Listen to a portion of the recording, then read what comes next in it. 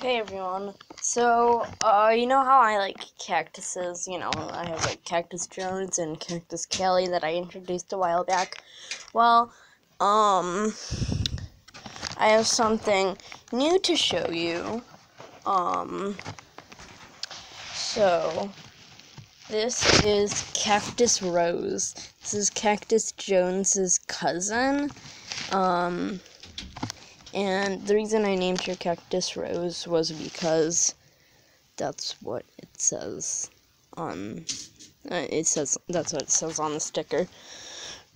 But um, I think this is really cute. It's um, nice little decoration. Uh, but uh, yeah, that's Cactus Rose. So goodbye.